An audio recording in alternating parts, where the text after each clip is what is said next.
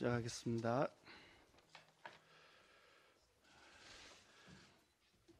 내년 총선을 이끌 새로운 당 지도부가 출마한 지 한 달이 다 돼 가고 있습니다. 안정속 개혁을 모토로 그동안 체제를 정비하고 민생을 최우선하는 정책을 하나 둘 실행하면서 경제도 살리고 민생을 살피는 등 내일을 위한 준비에 박차를 가하고 있습니다. 하지만 최근 불미스러운 잡음으로 인해 우리 당의 개혁 의지가 퇴색되고 있는 것 같아 당 대표로서 국민과 당원들께 송구스럽고 매우 무거운 책임감을 느낍니다. 우리 국민의힘은 당원의 의무로 국민에 대한 봉사자로서의 품위를 유지하고 청렴한 생활을 할 의무를 명시하고 있습니다. 구체적으로 당원으로서 반드시 지켜야 할 윤리 규칙을 통해 당의 명예를 실추시키거나 국민 정서와 동떨어진 언행을 해서는 아니 된다는 점도 규정하고 있습니다. 그럼에도 당을 이끌어가는 주요 구성원들이 국민과 당원의 눈높이에 맞지 않는 언행을 하는 일이 최근 빈발하고 있습니다. 더 이상 이런 일이 반복되어서는 안 됩니다. 내년 총선을 이기기 위해 모든 힘을 쏟아도 쉽지 않은 여건입니다. 당 대표로서 엄중히 경고합니다. 이 시각 이후 당의 이미지를 실추시키고 당원을 부끄럽게 만드는 언행에 대하여 지위 고하를 막론하고 당헌 당규에 따라 당 대표에게 주어진 권한을 보다 엄격하게 행사하겠습니다. 당 윤리위원회를 조속한 시일 내에 구성하고 엄정한 윤리 기강을 확립토록 하겠습니다. 또한 국민 정서에 어긋나는 언행으로 무리를 빚은 사람에 대하여는 차후 자격 평가 시 벌점을 매기도록 하겠습니다. 지금 당이 비상 상황입니다. 비장한 각오로 임해야 합니다. 총선 승리를 위해 장애 요인이 되면 누구든지 엄정한 책임을 물을 것입니다. 책임이 있는 집권 여당으로서 더 낮은 자세로 겸허하게 오직 민생 살리기로 국민의 신뢰를 쌓도록 힘을 합쳐 주실 것을 부탁드립니다. 의원 정수를 축소해야 된다는 취지의 말씀을 드리겠습니다. 선거제도 개편에 관한 국회 전원위원회 논의를 앞두고 있습니다. 그 논의 시작 전에 가장 중심에 있는 대전제는 민심입니다. 민심이 모든 판단의 최대 가치이자 기준입니다. 국회의원의 권한은 국민으로부터 위임받은 것임을 우리는 망각하지 않아야 합니다. 국민들은 국회의원 정수를 줄여야 한다고 요구하고 계십니다. 재헌 국회에서 국회의원 의석수를 200석으로 시작했고 헌법에서도 200인이라, 200인 이상이라고 200이라는 숫자를 명시 규정하고 있는 이유를 생각해 보아야 합니다.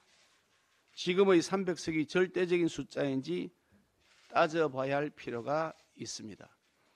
지난달 실시된 한 여론조사에 따르면 의원 정수를 줄여야 한다는 응답이 57%에 달하고 세비 총 예산을 동결한다 하더라도 정수를 늘려서는 안 된다는 응답이 무려 71%에 육박합니다. 다른 여론조사에서도 의원 정수를 줄여야 한다는 응답이 69.3%로 높은 반면 늘려야 한다는 의견은 각각 9%, 8.6%에 불과합니다. 그런 만큼 다음 주부터 시작하는 전원위원회 논의에서 의원 수를 감축하는 것을 논의해야 할 것입니다. 최소 30석 이상 줄일 수 있다고 봅니다. 국회에 대한 신뢰가 회복되지 않고 있는 마당에 신뢰 회복을 위한 특권 내려놓기조차 없이 선거제도만 개편하자는 것은 국민들에 대한 예의가 아니라고 생각합니다.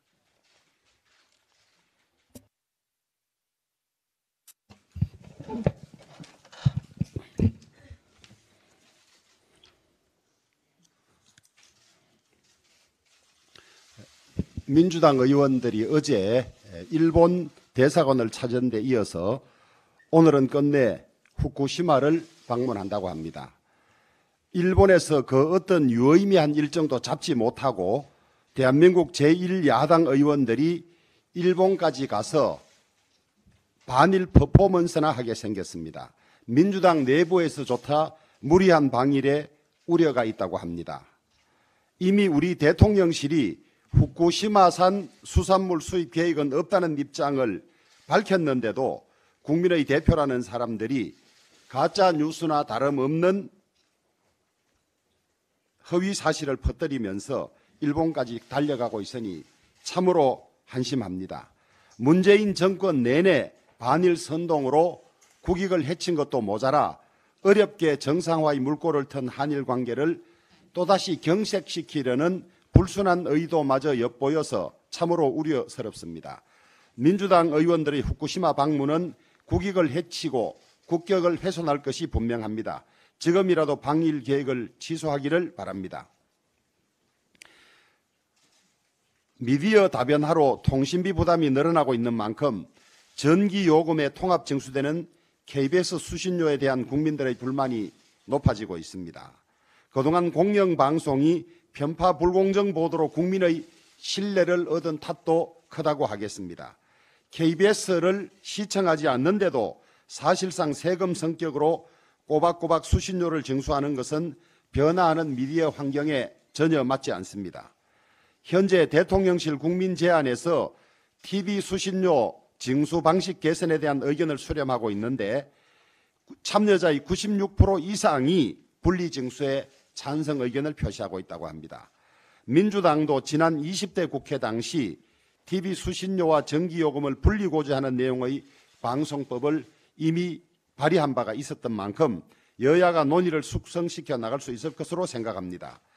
민주당은 민심과 완전히 동떨어진 KBS 수신료 인상을 주장할 것이 아니라 절대 다수의 국민들이 원하는 분리 징수 방안을 마련하는 데 협조해야 할 것입니다. 유엔 북한 유엔 인권 이사회 제52차 정기 이사회에서 북한 인권 결의안이 표결 없이 합의로 채택되었습니다. 2003년 처음 채택된 이후 21년째 연속으로 채택된 것이고 우리나라도 2019년 이후 처음으로 공동 제안국으로 참여했습니다. 유엔의 북한 인권조사위원회가 설립된 지도 10년이 지났지만은 북한 정권은 여전히 조직적이고 강범위한 인권 탄압을 계속하고 있습니다. 2016년 북한인권법 제정 후 7년 만에 처음으로 발표된 북한인권보고서에 따르면 현재 북한에서는 고문과 강제노동, 인신매매가 강범위하게 자행되고 있다고 합니다. 심지어 장애인을 대상으로 생체 실험을 하고 청소년과 임산부도 공개 처형하고 있다고 하니 21세기 지구상에 아직도 이런 나라가 존속하고 있다는 것이 인류의 수치이자 인류의 직무유기라고 할 것입니다. 그런데도 민주당은 그동안 북한 앞에만 서면 인권이라는 보편적 가치를 내팽개치고 북한의 참혹한 인권 상황을 예면하고 심지어 은폐까지 하려고 했습니다. 민주당이 이런 오명을 벗고 정말 인권을 말할 수 있으려면 북한 인권재단의 출범에 협조하는 일부터 시작해야 할 것입니다. 지금 6년째 미루고 있는 민주당 목 인권재단 이사를 조속히 선임해 주기 바랍니다.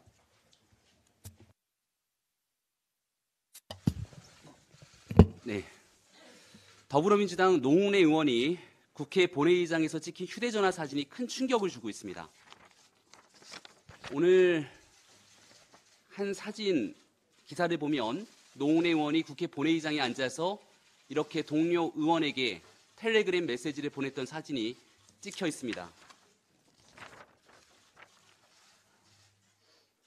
이 사진의 내용을 보면 김관현 전북지사와의 텔레그램, 박범계 전 법무부 장관과의 대화 내용이 드러나 있는데 본인 사건 재판 판사 프로필을 건네며 알아봐 달라고 부탁하는 장면이 포착된 겁니다. 이런 식으로 국회의원 특권 활용해서 본인 재판 무죄 이끌어내려고 불체포 특권 방탄 활용했던 겁니까? 이러려고 민주당 의원들은 노웅래 의원 감싸면서 온갖 국민적 비난 받아가며 한 몸처럼 움직였던 겁니까?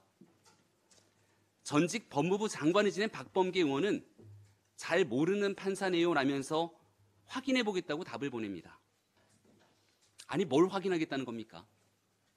파렴치한 뇌물 혐의로 기소된 인사가 자기 재판 담당 판사에 대해 알아봐 달라고 법무부 장관, 전직 법무부 장관에게 부탁하는데 잘 모르는 사람이니 확인해 보겠다고 대답하는 게 도대체 말이 되는 일입니까? 이래서 국회의원의 불체포 특권 당장 폐기해야 된다고 국민들께서 한 목소리로 외치고 있는 것 아닙니까? 무늬만 국회의원이지 자기 재판 방어권에만 열을 올리고 있는 뇌물 사건의 피고인이 국회 본회의장에 버젓이 앉아서 하는 일이 동료 국회의원에게 이런 청탁 메시지를 보내는 일이었습니다. 특정 당직을 맡고 있지 않은 노웅래 의원이 이럴진데 당대표로 온갖 권한을 쥐고 흔드는 이재명 대표는 과연 어떻겠습니까? 더불어민주당은 이미 뇌물 혐의로 기소가 되어 있고 심지어 이런 황당한 행위를 일삼고 있는 노웅래 의원에 대해서 어떠한 대응도 하지 않고 있습니다. 심지어 아직도 더불어민주당의 당적을 가지고 있는 상황으로 볼 수 있는데 과연 어떤 대응이 나설 건지 많은 국민들께서 똑똑히 지켜보고 있을 겁니다. 뻔뻔하게 불체포 특권을 행사하고도 반성을 모르는 민주당의 행태가 오늘 이 같은 문제를 초래시켰습니다. 국회 반탄으로 국회 전체의 위신을 땅에 떨어뜨린 노웅래 의원과 더불어민주당은 대국민 사과에 나서기 바랍니다.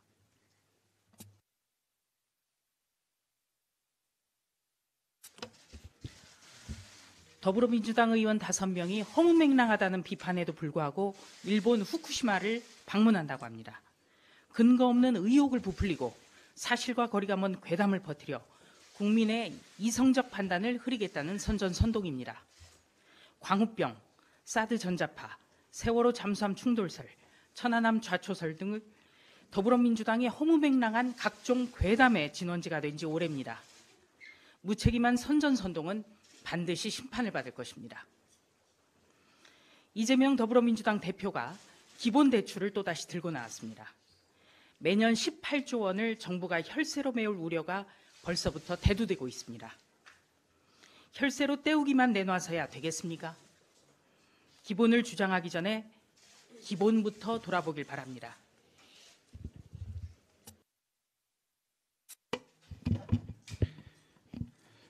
그제부터 오늘로 이어지고 있는 단비 마냥 우리 국민들의 마음을 기쁘게 해주는 소식들이 계속 나오고 있습니다. 윤석열 대통령이 이달 말 미국 국빈 방문 기간 중 미 상하원의 초청을 받아 의회 합동회의 연설을 10년 만에 하게 됐다고 합니다. 미국의 이러한 환대는 지난 정부기관 신뢰의 문제까지 겪던 한미동맹이 이제는 복원을 넘어 미래를 향한 광화해로 나가고 있다는 상징입니다. 최근 발표된 미 인플레이션 감축법 세부 규정에 우리 기업에 우호적으로 되는 내용들이 많이 들어가 우리 기업들이 한숨 돌렸다고 합니다. 이와 함께 엑스포 개최 후보지 시찰 및 역량 평가 대표단이 방한 중에 부산 유치 성공 확률이 50대 50으로까지 나왔다는 소식도 나왔습니다. 지난해 5월 한국이 유치전에 본격적으로 뛰어들었을 때만 해도 경쟁국 사우디아라비아의 오일머니에 당해낼 수 없다는 회의론이 팽배했었습니다. 하지만 난관 속에서도 윤석열 정부와 부산 시민들, 더 나아가 모든 국민들이 일본의 나고야를 꺾고 88 서울 올림픽을 유치한 것과 비슷한 대역전국을 쓰고 있습니다. 지난 4일 유엔 인권이사회가 북한 인권 교례안을 채택했고 대한민국은 5년 만에 공동 제안국에 이름을 올렸습니다. 그리고 지난 3월 31일 윤석열 정부가 역대 정부 최초로 북한 인권 보고서를 공개했습니다. 문재인 정부는 북한 김정은의 눈치를 보느라 유엔 북한 인권 결의안 공동 제안국으로 계속 불참했고 2017년부터 통일부가 작성해오는 북한 인권 보고서를 김정은을 불편하게 만들 수 있다는 이유로 상급 비밀로 분류해놓고 공개하지 않아 국제 공동체로부터 인권 후진국 김정은 눈치 보는 정권이라는 비난을 받아왔었습니다. 윤석열 정부 들어 이러한 오명을 드디어 벗게 되었습니다. 윤석열 정부는 대한민국의 국격에 맞게 세계적 흐름에 발을 맞추어 나가고 있는데 민주당만은 아쉽게도 이러한 세계적 흐름에 역행하여 21세기의 괴담 정치 행보를 계속 이어가고 있습니다. 오늘부터 더불어민주당의 후쿠시마 원전 오염수 방출 저지 대응단 의원 5명이 일본 후쿠시마를 항의 방문한다고 합니다. 제1야당이며 국회 다수당이 아직도 광우병, FTA, 사드 전자파, 세월호 잠수함 충돌, 천안함, 수돗물 민영화 등 괴담 정치 유혹에서 벗어나지 못하고 있는 현실이 안타까울 뿐입니다. 이재명 대표가 모든 성인에게 최대 천만 원의 대출을 해주자는 개상한 제안을 했다고 합니다. 빚 돌려막기를 조장하는 무대책 정책의 전형입니다. 민주당은 최근 금리 인상 여파로 대출자들이 이자, 이자 부담이 커지자 여론을 등에 업고 이재명 대표가 대선 후보 시절 내놓았던 포퓰리즘 끝판왕을 재추진하려는 모양인데 민주당의 포퓰리즘 정책 속에 미래 세대는 존재하지 않습니다. 제발 민주당은 이제라도 정신을 차리고 공당의 위치로 돌아오기를 바랍니다.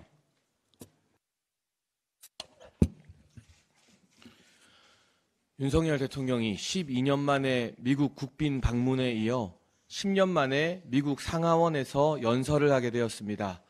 굳건해진 한미 관계 정상화를 나타내는 대목입니다.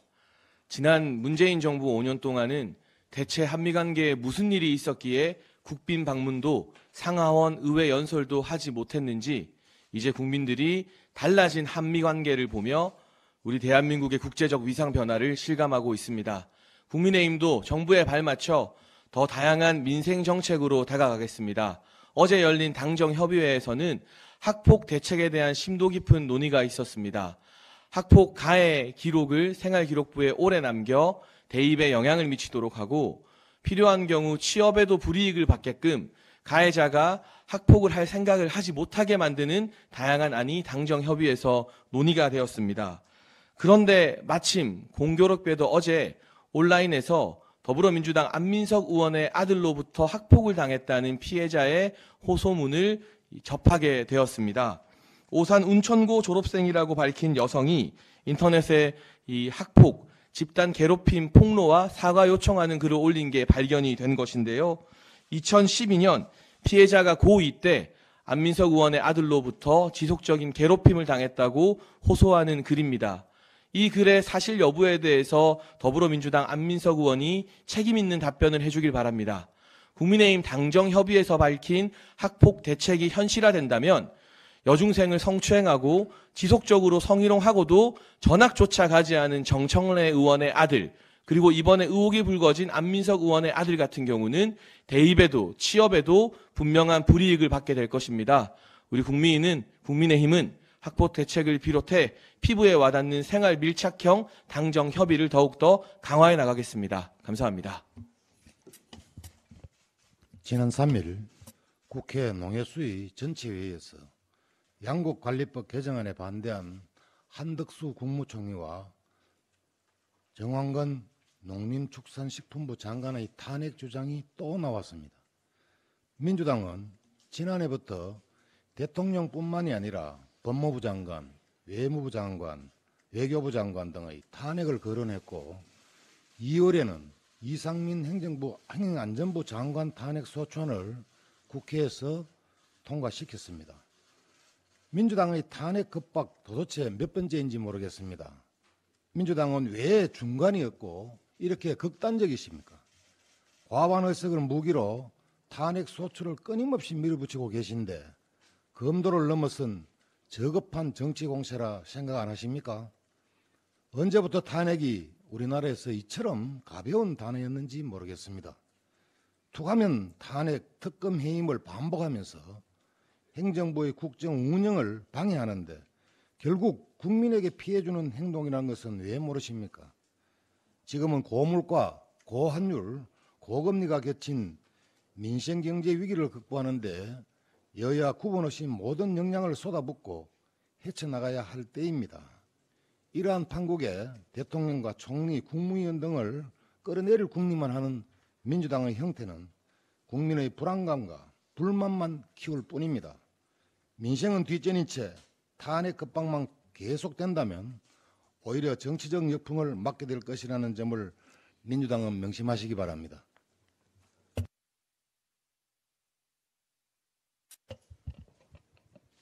네, 민주당 어, 김민석 정책위원장으로부터 저에게 공문이 왔습니다. 그 내용은 천년의 아침밥을 확대를 해달라는 그런 내용을 아, 요청해 온 것이었습니다. 네, 네, 저는 죄송합니다. 제가 이 늘 제 지역구가 천년의 도시, 천년 비빔밥 이러다 보니까 밥이 늘 천년 비빔밥이 제가 익숙해가지고 다시 하겠습니다. 천원의 아침밥 사업을 확대해달라는 요청이 건이었습니다. 대학생 복지 향상에 어, 관심을 가지고 여야가 협력하자는 뜻에 긍정적으로 받아들이고 환영합니다. 저는 이런 내용의 어, 공문을 아침에 회신을 했습니다. 대학생들의 식비 부담을 완화하고 양질의 아침밥 제공을 위해서 실시하고 있는 천원의 아침밥 사업에 대해서 관심을 가져준 데 대해서 감사드립니다. 지원 규모를 확대해달라는 학교와 학생들의 의견을 다각도로 청취하였고 이에 따라 지난 13일 정부에서는 41개교 68만 5천 명의 대학생들이 혜택을 받을 수 있도록 지원 확대 계획을 발표한 바 있습니다. 이어서 3월 28일 국민의힘 김기현 당대표님을 비롯한 저희 당 지도부가 직접 학교 현장을 방문해서 천원의 아침밥 사업에 대한 대학생들의 생생한 목소리를 들은 뒤에 아- 천원의 아침밥 지원 대상을 68만 5천 명에서 150만 명으로 두 배 이상 확대하는 방안을 제시하는 등 선제적 조치에 나서기도 했습니다. 또한 대학생들의 의견을 적극 수용해서 전체 대학으로 천원의 아침밥 지원을 확대하고 또 급식의 질을 높이는 방안도 지금 저희 당에서 중점적으로 검토하고 있다는 내용을 포함시켜서 보내드렸습니다. 민생을 살리는 생활 정치에 여야가 있을 수 없습니다. 정, 정부와 국민의 힘은 앞으로도 정, 청년과 대학생의 의견이 정책에 반영될 수 있도록 노력하겠습니다. 기당의 적극적인 협조를 당부드립니다. 이런 내용으로 보내드렸다는 점을 소개드리겠습니다. 어, 민주당이 강행 처리한 양곡관리법은 농민에게는 꿀이 아니라 독입니다. 농업계와 전문가들은 현장과도 맞지 않고 장기적으로 쌀 시장을 몰락시키고 국가 재정도 파 탄낼 것이라고 한 목소리로 반대하고 있습니다. 당리 당략을 위해서 농민의 선택권과 국가의 미래를 희생시킨 민주당이야말로 식량 주권 파괴자가 될 것입니다. 국민의힘은 오늘도 민당정 협의회를 열고 농업계와 함께 농업 미래를 위한 진짜 식량 안보 대책을 세울 계획입니다. 쌀 산업을 어떻게 지속 가능하게 할지 근본적인 수급 안정 대책과 농가 소득 안정화 방안, 미래 대한민국 농정이 가야 할 방향 등을 꼼꼼히 살피고 대책을 마련하겠습니다. 대통령실 국민 참여 토론 게시판을 통한 KBS 수신료 징수 방법에 대한 설문조사 결과에 따르면 어제 오전 11시 기준으로 96.1%의 국민이 KBS 수신료 분리 징수에 찬성했습니다. KBS 수신료에 대해 국민이 원하는 방향은 이처럼 분명합니다. 그런데도 민주당은 민노총 언론노조가 장악하고 있는 KBS에 철밥통을 채워주기 위한 수신료 연구가치법을 추진하려고 하고 있습니다. 국민의 의사는 무시하고 민노총 언론노조와 부합하는 민주당은 이쯤에서 멈추고 국민 뜻에 따르기 바랍니다. 국민의 힘도 노조의 방송이 아닌 국민의 방송으로 되돌리기 위한 방안을 열심히 찾겠습니다.